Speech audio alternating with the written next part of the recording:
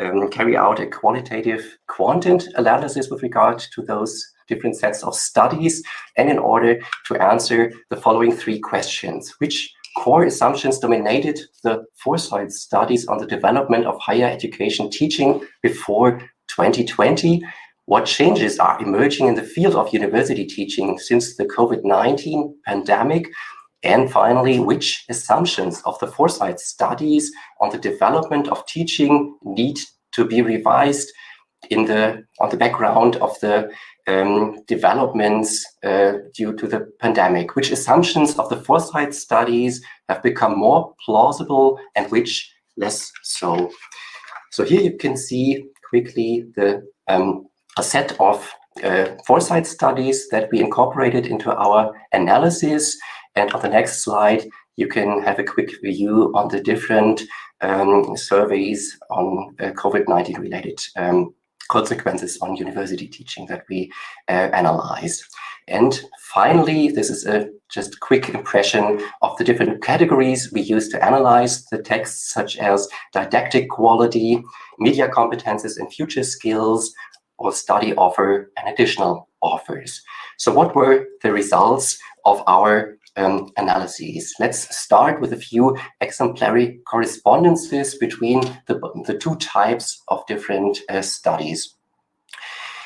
In the foresight studies that we had a closer look at, we saw that many of them said that online teaching would be gaining much more importance for higher education institutions and that's exactly what we found uh, confirmed by the COVID-19 related studies. There was a significant increase, of course, for online teaching during the pandemic.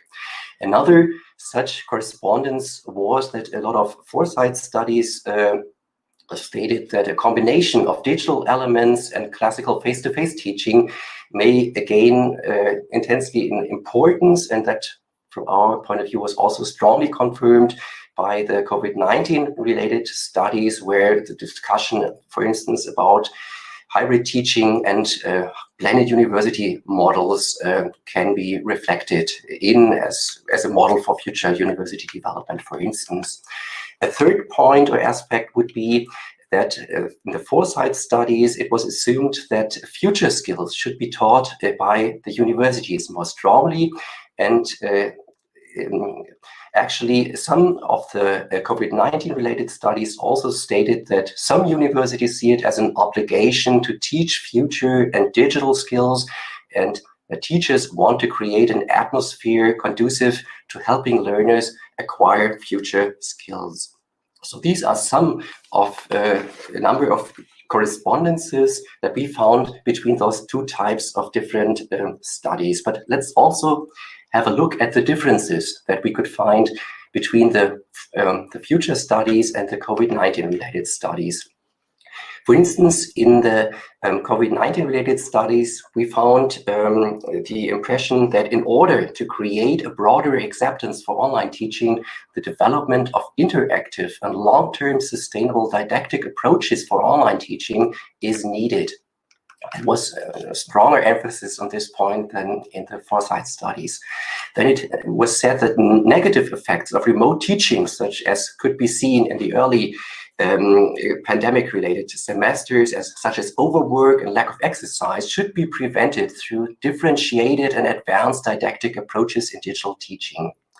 So from the overall results, we can conclude that despite the successful rapid conversion to digital teaching in the pandemic semesters, universities still have a long way to go since digital transformation affects the entire institutions and their contexts. Generally speaking, it is apparent that many detailed solutions overarching and integrating approaches are still missing. The new models of universities prophesied by the foresight studies are somewhat premature against the backdrop of the given time horizon. Thank you very much for this brief um, wrap up, for your attention, of course, for instance, so particularly. Thank you very much, and thank you for sticking to the uh, the next speaker or the next session is called Fostering the Intercultural Competence of Future Teachers. Yes, thank you very much. And uh, I would uh, wait a second. just trying to find the presentation.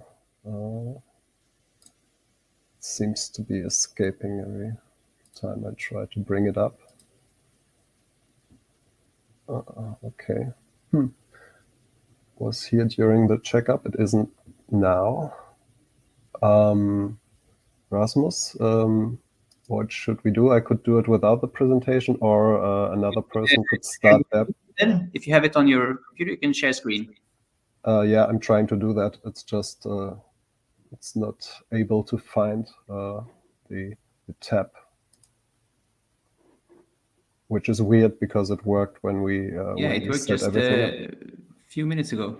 Yeah, I could uh, I could do it without the presentation, or somebody else uh, could start, and then I maybe we can start with the next presentation. Well, let's see if you great. can uh, find I'll it. The next presentation is called Five Takeaways from Teaching in Virtual Reality.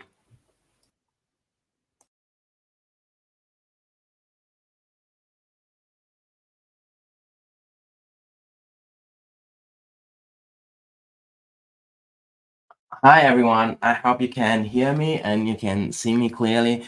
Uh, my name is David, and I'm happy to be presenting here today five key takeaways that we gained when we were teaching in production and logistics module last summer term, where we decided we want to teach in virtual reality instead of teaching in Zoom, uh, because obviously we had to teach online. Now, everyone was wearing uh, headsets, uh, VR headsets or joining from a computer, and this would be what the application would be looking like. So the students were represented as avatars. You could see me standing there, for instance, on, on the stage, presenting some slides. We would be interacting. I could be asking questions. People could be um, giving feedback. They could be answering there. We could have smaller groups and, and uh, interact quite dynamically. So this is basically the setup that we've uh, had and uh, that, that we've been applying last semester. Now, uh, I want to present five key takeaways from that. And my first one is that it's a really positive one, right? VR offers some unique um, opportunities that are new and that are actually going beyond of what you can do when you're teaching with Zoom or Teams, something that we've been doing uh, previously as well. So what I really like is being presented as avatars. Everyone is physically there. It's no more there's a switch off computer or just the name, uh, as we've seen staring into Zoom. Uh, I guess we all have shared this. And so this is pretty cool. Um, I really like that you can draw something on whiteboards. It's very interactive, very dynamic. It's almost as if it was a classroom. There's some spatial audio that people standing next to you with their avatars, they are louder than someone very distant. And that's pretty cool because that really enables you to work in small groups very dynamically without having to go formally into breakout rooms and assigning them. So there's actually a lot about this um, to like, and I really enjoyed teaching it this way. But there are also four uh, further takeaways that I would like to share because they, they kind of indicate that there's more than just saying everyone uses VR now. Um, and the second one, the second key takeaway is basically that it requires a new didactical approach. Now, what I mean by that, I used to teach uh, my, my four SWS, I used to teach um, on one day, 90 minutes plus 90 minutes. I found this very helpful to, to dive deeper into it. With VR, that doesn't really work because with VR, everyone has to wear those headsets, and this is a lot of burn. So I moved over to teaching 45 minutes, 45 minutes, and 90 minutes. That required quite a adjustment of, of the lecture and the content. Um, and in, when talk about the didactic approach, it definitely doesn't work with this format that you are talking and people are listening. Just it really is only working with interaction, right? So having them engage in small groups, this is what really works, and this is what you really need to focus your, your didactical approach around. Third, technology acceptance should not be underestimated, even for open-minded uh, students. And that was very, um, very important for me uh, to learn. We, we do have um, at uh, our Technical University of Munich campus in Heilbronn, we do have very open-minded students when it comes to technology. And yet it was in some cases that there were problems and the question was you know why do we need to go for vr why can't we go just for zoom? Zoom has been working. Why do we need to try something new? Eventually it worked though there have been updates from every now and then which made it a bit more difficult. But overall it worked well. But you should not underestimate it. You should not take it for granted. And we had to put in a lot of work at the very beginning to get everyone up to speed and on board. Fourth um, alternating uh, learning uh, become, path becomes key. Um, what do I mean by that? So it's not just that you can say, now we go to VR and we just do the lecture as we would do in the classroom. One-on-one converting it, that was kind of my how, but it doesn't really work. Why? Because for some, there's some nausea. They can't really spend too much time in VR. Even those that go to computer, they might feel it's a bit more difficult to follow. Um, and, and there are many other reasons why just going to, to VR doesn't work. And so what we did is we created over 80 video clips um, with all the content as well for those who prefer going this path. We had over 200 questions on Moodle that people could go through, and we had some additional exercise that we offered this term um, so that we could deal with those who don't, you know, don't, don't appreciate too much um, studying with VR or have some, some other issues there. And finally, VR can be fun, but it can also be exhausting, right? When you have your headset on for 90 minutes, if you teach multiple classes uh, on one day for different students, of course, then it can be quite uh, exhausting. And that's also something to, to keep in mind. Now, with that, I would like to conclude my five teaching uh, key takeaways from teaching in uh, virtual reality. And I hope to stay in touch, to stay connected. Um, please feel free to reach out even after the session. Um, thank you so much for giving me the opportunity to talk here today. Thank you very much. Let's go back and see if we can find the presentation vis-a-vis -vis fostering the intercultural competence of future teachers. Does it work, yeah. Christoph? Let me try now. And uh, I think we are lucky this time. Okay. You should see something. I hope. Yes, absolutely. Go ahead. Fantastic. Okay, I'm not going to put it full screen because this didn't work uh, the other other time. Um, thanks for being here, and apologies on behalf of uh, Professor Jutta Standop. Uh, she had an emergency case and she couldn't attend today.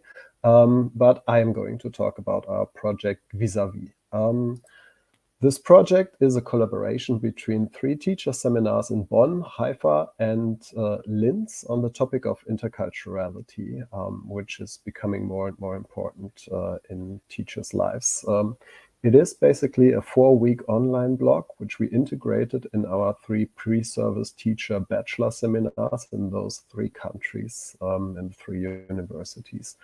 The intention was to foster uh, intercultural competence in future teachers, um, to also foster their technology acceptance and overall their democratic competencies for a 21st uh, century. Um, we do this basically by problem-based learning, so it's a case-based approach. Um, the students mainly work in tri-national small groups um, and they work on a problem case which also deals with interculturality. So you've got this mirroring of the interculturality factor. It's uh, it's uh, the content of what they are learning uh, via the case story but it's also the way they approach it because their group work is uh, intercultural as well and uh, this way we have a synergy of this problem-based learning approach, the computer-supported uh, collaborative learning approach, and the interculturality. Um, the project looks like this. It's, uh, as I said, four weeks. Uh, in the first week, we have an organizational meeting via Zoom, and uh, we used to do this project even before Corona. So um, this is uh, something which we could could build on uh, on, and now everybody uh, basically knows the game and knows how it goes. Um, but we had to start like from the beginning in, in earlier years. And uh, we started with a Zoom conference um, on organizational matters. Um, then uh, we put people into tri-national intercultural groups and um, they uh, approached the case story on uh, an intercultural problem case from a school. And uh, they identified knowledge gaps which uh, they as a group had and things which they needed to uh, to know to be able to better solve this story or to be able to better make sense of the story. And they uh, tried to filling in those gaps um, in the self-study phase which is also a traditional problem-based learning um, approach. And after the self-study phase there was a second group work where um, everybody uh, brought together their expanded knowledge and the case-based uh, discussion proceeded to hopefully uh, another and higher level. And then we had a closing conference, which was again everybody from all the uh, three countries together, roughly uh, 100 people, uh, with group presentations on the individual solutions and a big farewell. The empirical results um, over the years were that um, First of all, we uh, we found out that the students considered this learning opportunity, which um, we designed as a democratic academic experience, something which, of course, was very important um, to us. And uh, after that, we examined whether the competencies we wanted to foster were actually fostered by this uh, intervention. And we measured their intercultural competence before and after the intervention and found out that it improved. Um, we did this uh, via a uh, answers, answers, on a scale um, the students gave us and via the analysis of uh, learning journals they filled in during uh, the group work. And we also found out that the technology acceptance of the partic participants has increased um, after our intervention. And First of all, we'd like to thank you very much for um, listening to our presentation. And um, if you like what we are doing and uh, if you want to uh, want to join, um, especially international uh, potential uh, potential collaborators, we are always happy to expand our uh, our project. And yeah, or maybe you know somebody uh, who could be interested just uh, shoot them a message and tell them about us. Um, we are looking to expand this project. And yeah, this is our literature. Thanks again. And uh, I'm looking forward to the discussion. Okay, thank you very much.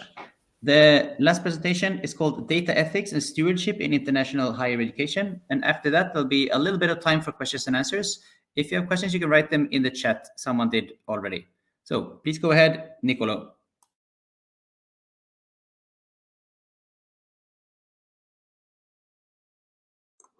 Hi, everybody. You should be able to see me and possibly even my presentation if everything is working correctly. Thanks for letting me know. Okay, so let me just move around. So I'm Nicola Bonato. I work with the EUF, the European University Foundation, and I'm a policy and research officer. Now, today I wanted to talk with you about data ethics and uh, ethical data stewardship, which is a topic that's very close to our hearts, of course. But we don't have much time, so it might be appropriate to start by asking ourselves what data ethics means and what it is.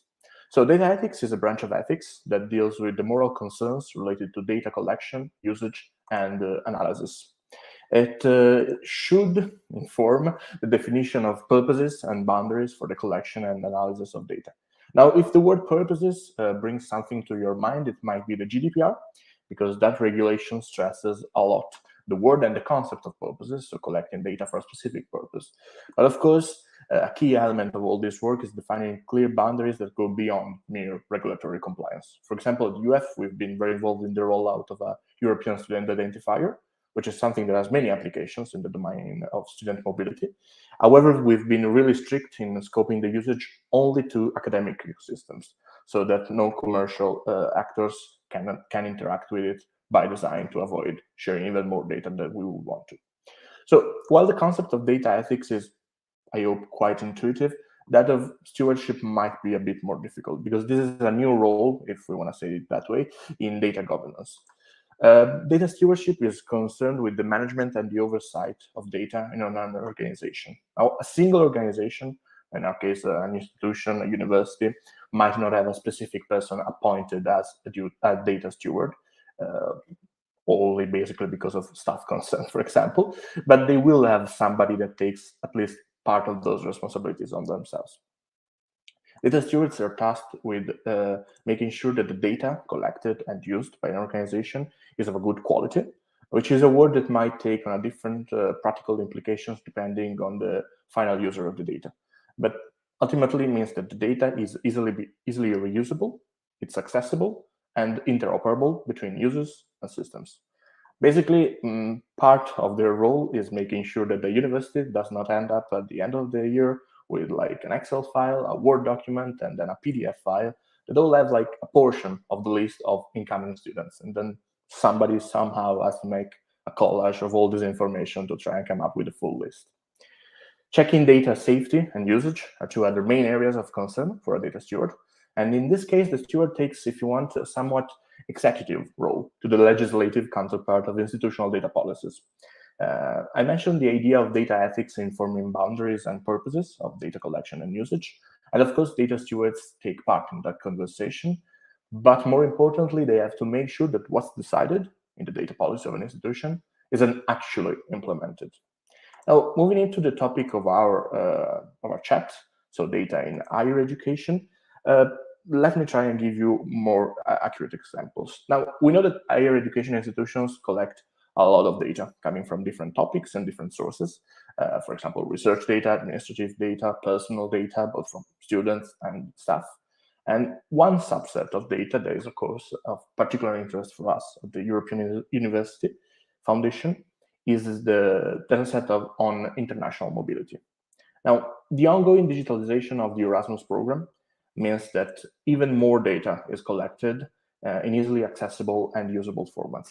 This opens the door to an array of possibilities.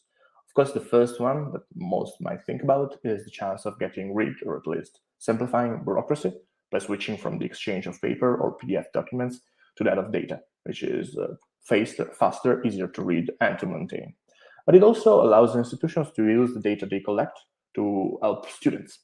Uh, one practical example is with the digitalization of learning agreements. For, for example, an institution might use this, so the data that's more easily accessible to just exchanging scanned PDFs, to see that, let's say that one course is very commonly picked by students that are incoming students, but then when they come to your institution, they switch away to other courses.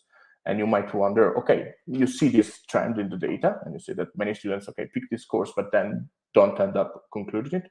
And you might come to the conclusion that, for example, I don't know, um, it's too hard for non-native speakers, or maybe the syllabus of the course is not reflective enough of what's actually the topic. And so you might want to change that to help students. And uh, of course, data might help you honing into a single problem. Now, for larger universities, another possible avenue opened by keeping all data easy to handle, which is part of the job of the data steward, is that of automated decision making. Now, this might sound like a buzzword to some of you, or maybe sci-fi to others, but to be quite uh, grounded, let me give you a real world example. So before working with the EUF, I was actually a student worker in uh, my university, and we had to deal with uh, uh many tasks in the Erasmus Coordination Office. One of the tasks was making sure that students with learning agreements uh, followed rules set by uh, departments and the university um, to choose classes. And this was pretty much following a large data set of rules and then making sure that learning agreements were compliant with those rules. This is clearly a task ripe for automation because it's a repetitive and well-defined task. And automation in this context would then mean that students might, for example, get a, a warning when their learning agreement is not following those rules, or might even be prevented uh, to make those choices, choices that would then trigger a warning telling them that they have to make some changes inevitably. Here, the data steward would have to do quite a lot of work because they would want to make sure that the automated process is clearly communicated and everybody knows that it is an automated process and that there is full transparency on the rules that are employed. There are also clear pathways for appeal, so to speak, so students can appeal if they think that the decision was wrong, and also that potential pitfalls are accounted for and uh, fixed if they can be fixed by the IT department colleagues. Now, these are just simple examples, but hopefully they shine a light on what's possible and what might be going on in the professional environment around us. Data stewardship and ethics play an important role in higher education because they ensure that only useful and necessary data. Uh, hello, uh, sorry for interrupting. Uh, could you wrap up, uh, please? I think you. Yeah, yeah, sorry. This was my last, uh, my last one. One or two questions. Uh, so they ensure that only useful and necessary data is collected, and they prevent data hoarding, which is one of the problems where we might have we coming in with more data than what we need. And so we would just encourage you to think creatively about data and how they can help both IRO do their jobs and students have a better experience. Uh, we do have a couple of more minutes. There's one question in the chat. Uh, is there a specific platform that was used in order to create these uh, visuals? I think the question is for David. Would you like to respond to that? Yes, hi. So thank you very much for that question. Um, I assume you're referring to the visuals uh, that I, that I showed, like um, this, right? Um, so this was indeed a platform that we did not create, but we we got a license. Um, it's called, and I really don't want to make advertisement for that forum, but it's called Engage. If you search for Engage VR, um, they offer this, um, yeah, and, and and you can use it then and test it also a version of it.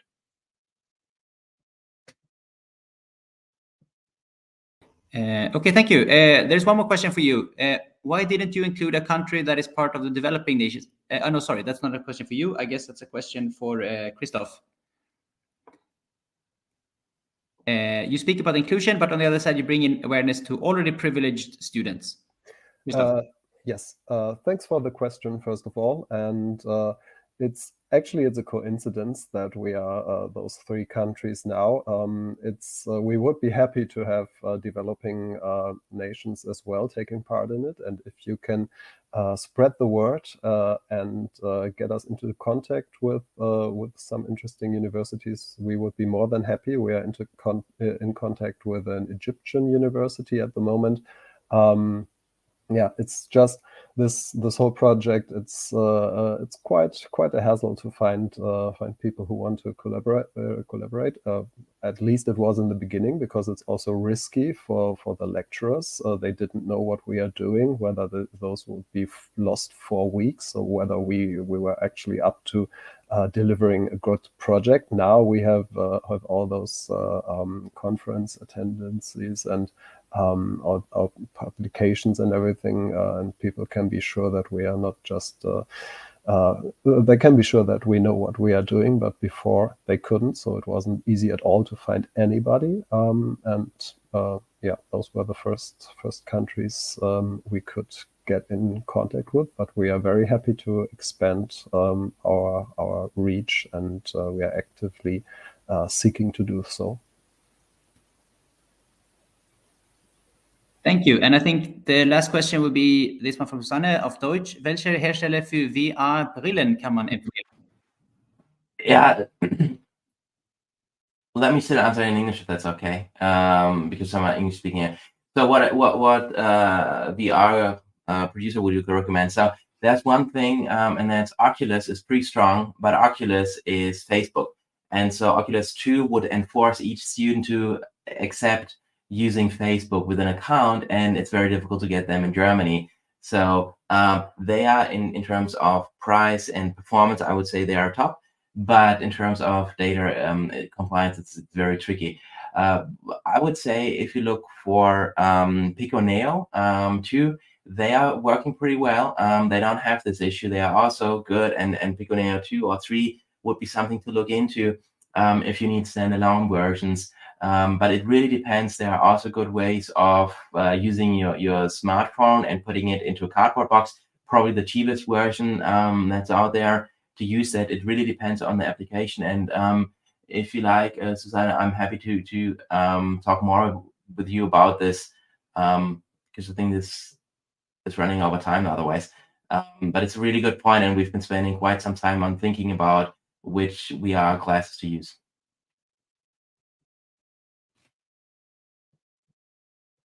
Last question. Then thank you very much to the speakers, to Klaus, Christoph, David, and Nicolo. Uh, that's the end of the session. Also, thank you to all the participants for joining. As you know, there are more sessions coming up during this afternoon, evening, and tomorrow and Thursday. Uh, have a look at the program if you're interested in more sessions. So thank you again for listening and have a nice day.